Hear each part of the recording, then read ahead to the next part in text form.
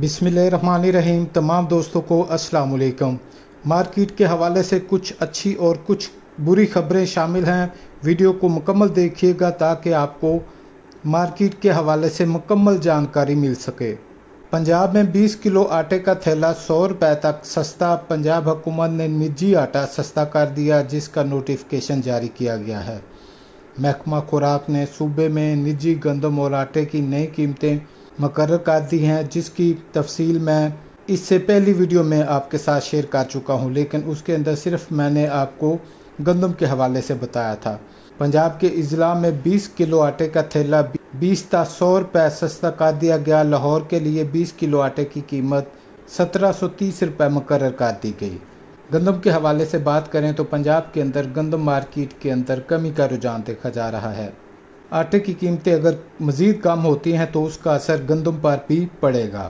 مکی کے حوالے سے بات کریں تو مکی مارکیٹ کے اندر شاندار تیزی برقرار ہے۔ آج ہائی ٹیک فیڈز نے مکی کے خریداری ریٹ میں سو روپے مزید اضافہ کر دیا، جس کے بعد مکی کا خریداری ریٹ ہائی ٹیک فیڈ کا چھبیس سو روپے ہو چکا ہے۔ اور تاریخ میں پہلی بار ایسا ہوا ہے کہ مکی اور گندم کا ریٹ تقریباً برابر ہو چکا ہے۔ مونجی کے حوالے سے بات کریں تو کسانوں کے لیے بہت برے حالات ہیں۔ مونجی کا ریٹ انتہائی کم ہے اور وزن بھی اور پیداوار بھی کم آ رہی ہے۔ اور وزن بھی کم ہے اور اوپر سے ریٹس نہیں ہے۔ کسان پہلے بھی گندم کے مارے ہوئے ہیں۔ کسانوں کی مشکلات آسان فرمائے۔ تل مارکیٹ کے حوالے سے بات کریں تو مارکیٹ مضبوط اور مستحکم دیکھی جا رہی ہے۔ اب چلتے ہیں، دیکھتے ہیں آج پنجاب مارکیٹ کے اندر اجناس کے ریٹس کیا رہے۔ تو سب سے پہلے بات کرتے ہیں مونجی کے حوالے سے۔ تو مونجی آج پنجاب پنجاب مارکیٹ کے اندر ایری چھ ہائیبرڈ سترہ سو روپے سے لے کر بائیس سو روپے مان تک فروخت ہو رہی ہے۔ ایری فائن کی بات کریں تو نئی مونجی جو ہے اٹھارہ سو روپے سے لے کر تیئیس سو روپے مان تک فروخت ہو رہی ہے۔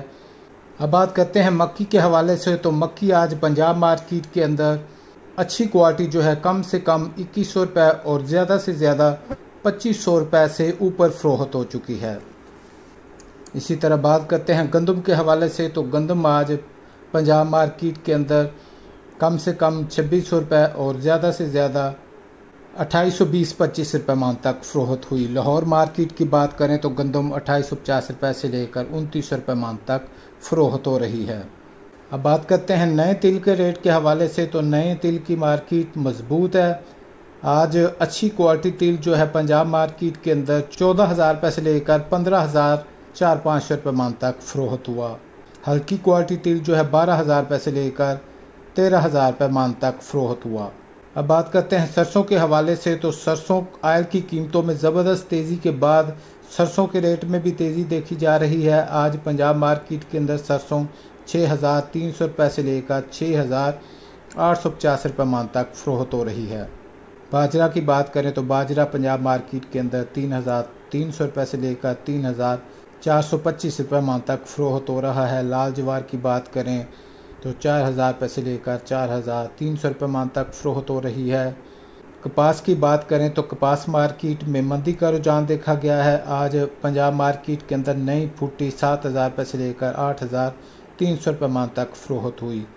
سورج مکھی کی بات کریں تو سورج مکھی پنجاب مارکیٹ کے اندر کوالٹی کے حساب سے پانچ ہزار پانچ سو روپے سے لے کر چھ ہزار چھ سو روپے ماہ تک فروخت ہو رہی ہے۔